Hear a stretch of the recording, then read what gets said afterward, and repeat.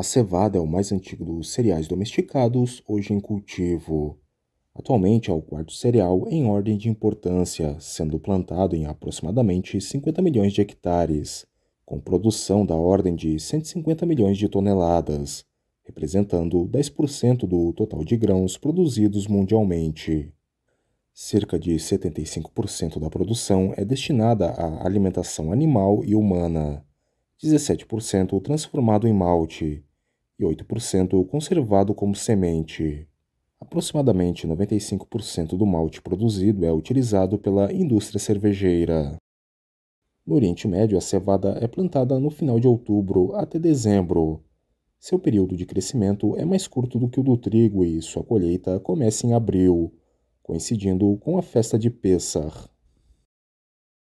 A cevada é muito mais resistente que o trigo, e seu cultivo pode ser estendido em regiões onde o trigo não tem sucesso, por causa da baixa precipitação ou de solos pobres.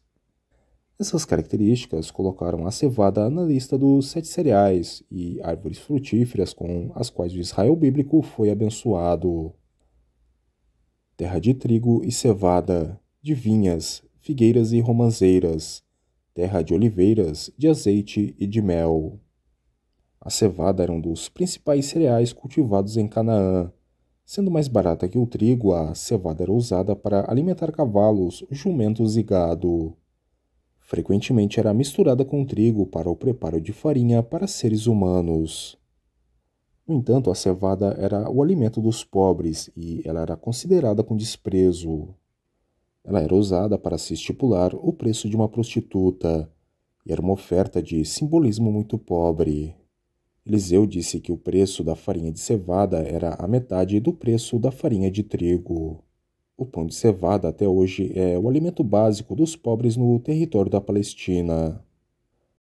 Segundo a Bíblia hebraica, a cevada poderia ser comida crua ou tostada, também poderia ser triturada no chão para fazer pão e para fazer bolo de cevada.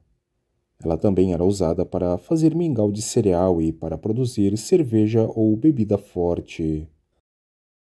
A palavra cevada vem do latim cibare e significa alimentar ou nutrir. Esta palavra é derivada de cibus, que significa comida ou alimento.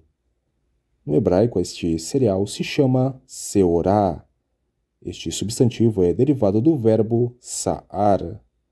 Um dos significados básicos deste verbo é arrepiar-se. Derivado deste verbo, nós temos o substantivo sear, que significa cabelo ou pelo. E derivado desta raiz, nós temos o termo seorá. Mas o que tem a ver cabelo e pelo com a cevada? Basicamente, a cevada recebe este nome porque possui essas aristas que, para um hebreu, lembrava pelos ou cabelos. Pois os hebreus eram um povo bastante gráfico em relação à sua escrita e expressão visual. Então, este foi o nosso vídeo de hoje. Se você gostou, deixe o seu sababa e até o próximo vídeo.